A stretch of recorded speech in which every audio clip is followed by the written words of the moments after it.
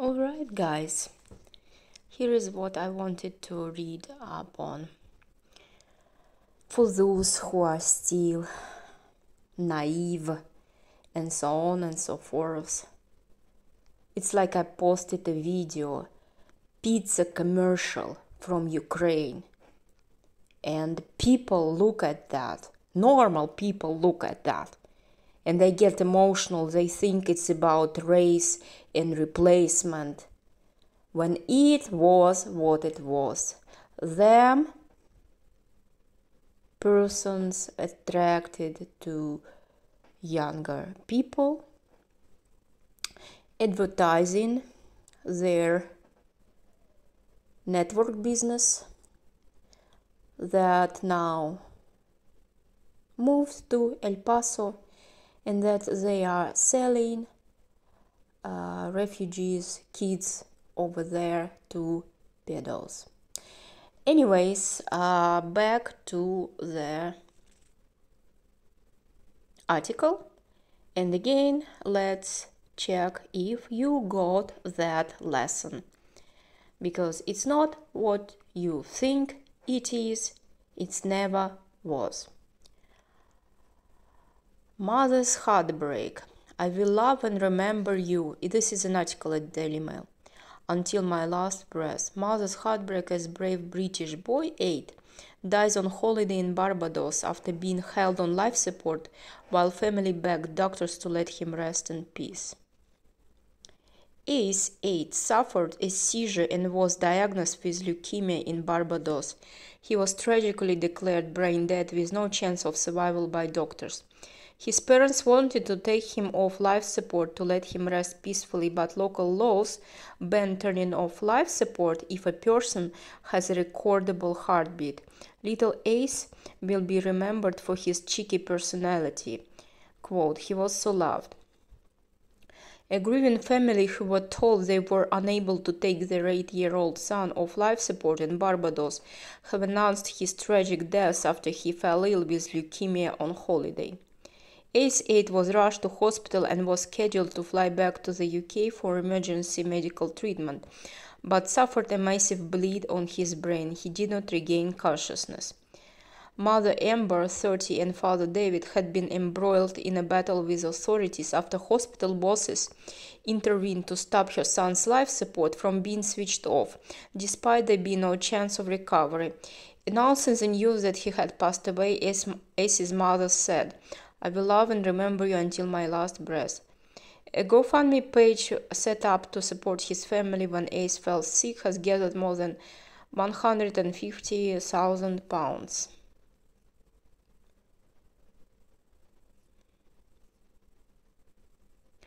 Little Ace was sitting up in his hospital bed, FaceTiming friends and playing card games with his parents until January 8th when his condition had rapidly deteriorated. Ace was no different to any other healthy little boy when he arrived in Barbados for a family trip from Portsmouth last week with his mother. But last Tuesday he began began feeling ill and was rushed to hospital where a series of scans revealed he was suffering from acute myeloid leukemia before seriously deteriorating after a massive bleed on his brain. His mother said on Saturday, Ace is now resting 5th March 2014, 14th January 2023. There is no footprint too small to leave imprint in this world.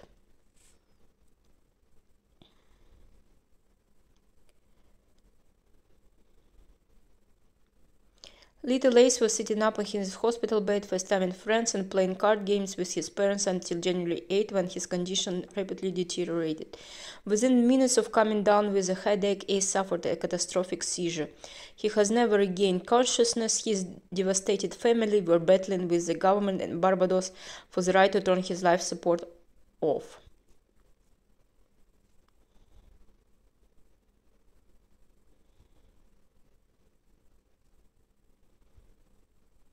Local law stipulates that if there is a heartbeat, the life support machine cannot be turned off.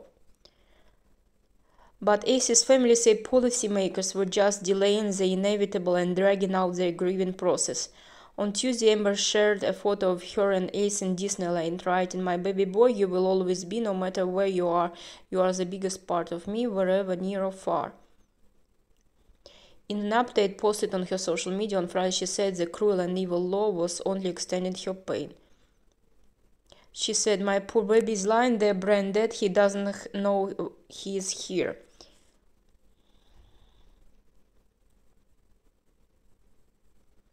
In the UK, once you are declared brain dead, your body is declared dead. I can't understand why they are doing this to us. Doctors here in Barbados and the UK agree that it should be turned off as it would be in the UK, but they have been overruled. This is cruel and evil. The only way I can describe it is a living nightmare, she said on Friday night, trying to keep her composure for the sake of Ace's mother. It's hard to speak about it all without crying. It's been such a horrendous time. About 15 of Ace's closest relatives flew to Barbados when his mother was told there was no chance he would recover. Previously, they had been told it would be weeks until Ace passed away. His heartbeat is still strong because he has a healthy heart and the machine, but all that it means is that it will take longer to pass on his own.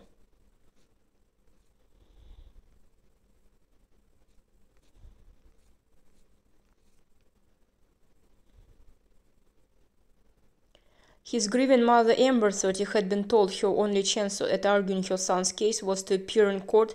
Miss Warren said the earliest they could get a hearing is next Wednesday, but that will no longer be necessary. Doctors have said it would be sensible to get a lawyer.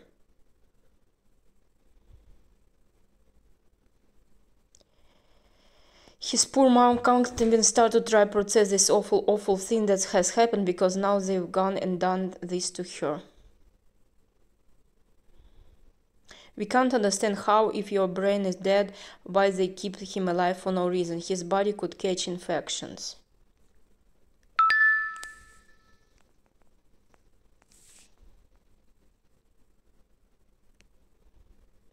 Ace's uncle Joey said Amber has been left devastated by the death of her only child.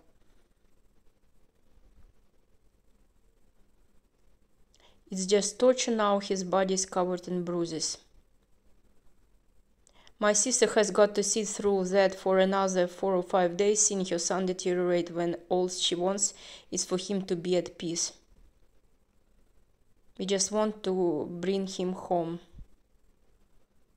The legal loopholes has been described as cruel and evil.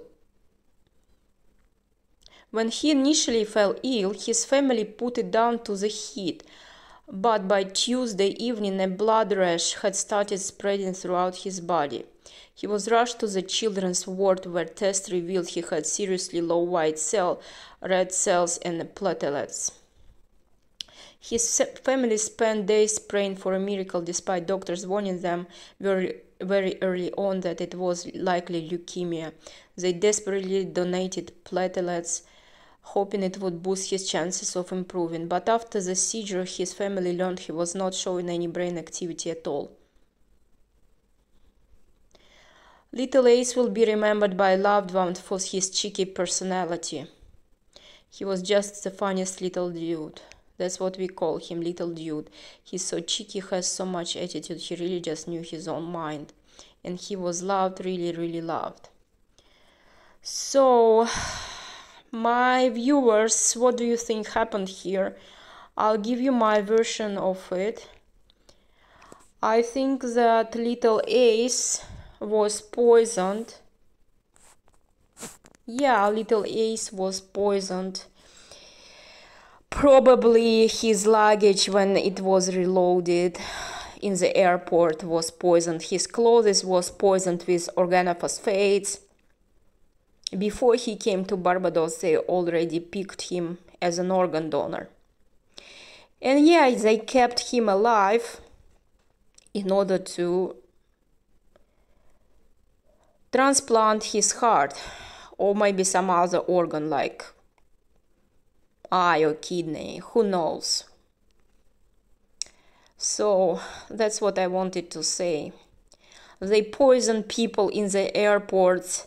They uh, have this nerve agent made with organophosphate compound. For example, you uh, want to uh, exchange to your local to the local cash once you arrive to the resort, or they poison your clothes. They put poison on the clothing when they open your suitcase. And that's how a child, children have a much faster metabolism uh, and this metamorphosis happening in their organism than adults. So he has this lightning uh, fast leukemia case on his trip, and yeah, they decided to support him. Maybe he was also given antibiotics so that um, his heart would be okay with no infections. Yeah, but just like my man, just like my American man, he had his luggage missing at the airport. Then, when they didn't manage to kill him right away, they gave it with the food. Then he was diagnosed with uh, large B cell lymphoma. This is blood cancer. This is what organophosphate poisoning does to you. Uh, this is called hematoxin, the, the one that gives blood. And it's, uh, yeah. Ace was no different to any other healthy little boy when he arrived in Barbados for a family trip from Portsmouth last week with his mother. But last Tuesday he began feeling ill and was rushed to hospital where a series of scans revealed he was suffering from acute myeloid leukemia before seriously deteriorating after a massive bleed on his brain. His mother said on Saturday, Ace is now resting 5th March 2014, 14th January 2023. There is no footprint too small to leave an imprint in this world. Another article at Daily Mail, uh, this one not from January, this one on the 3rd of February. Should brain dead women be kept alive and used as surrogates? Experts floats idea of organ donor style arrangement so women can agree to letting their body be used to give childless couples a chance at having a baby. That means LGBTQ crowd. A Norwegian philosopher said brain dead women could be used as surrogates. The move would help prospective parents who wish to have children but cannot. Should brain dead women be used as surrogates? That's the outrageously controversial concept floated by one philosopher. The move, which the Norwegian writer herself admits is undoubtedly disturbing, would help prospective parents who wish to have children but cannot, such as gay and infertile couples. Yeah. But Dr. Anna Smajdor, and associate professor in philosophy at the University of Oslo, also claimed it could be a viable option for women who prefer not to carry a child. Women would avoid the pregnancy health risks, such as high blood pressure, along with any emotional trauma as a result of complications, and it tackles the problem of lack of surrogate, she argued. Dr. Smajdor, who describes the concept as whole body gestational donation, even claimed brain dead men could be used as surrogates to ease feminist objections. Paul.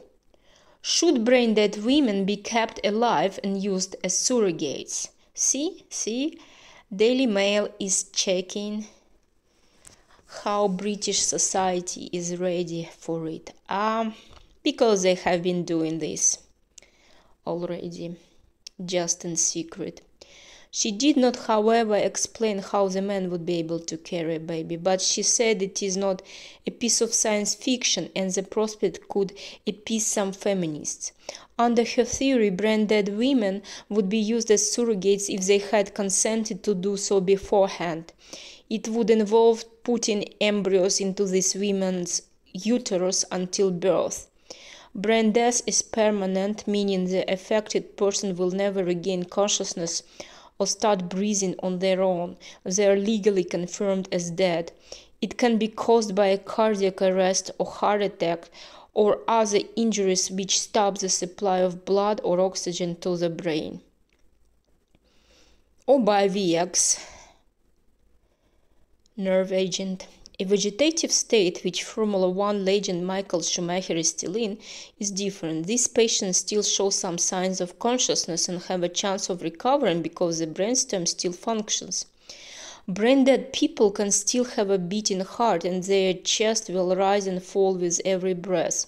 However, this is solely down to life support machines, not because the person has miraculously regained the ability to do this themselves.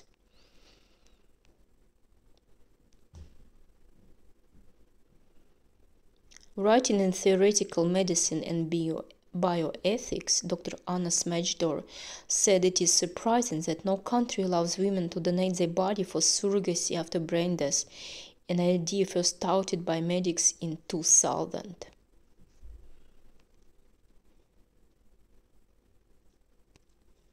Any women wanting to avoid the risks and burdens of being pregnant themselves should have access to this form of surrogacy, she said. Pregnancy and childbirth carry significant health risk and is more deadly than measles, Dr. Smajdor claimed. However, this is not true in the UK, where people are twice as likely to die from the respiratory infection than in pregnancy. But expectant mothers can face health risk from high blood pressure, which can lead to life threatening fits called eclampsia and diabetes, which raises the risk of miscarriage and complication during birth. Concerted medical efforts are focused on ridding ourselves of measles, while women are expected to submit themselves to the greater risk of pregnancy and childbirth almost without thinking about it.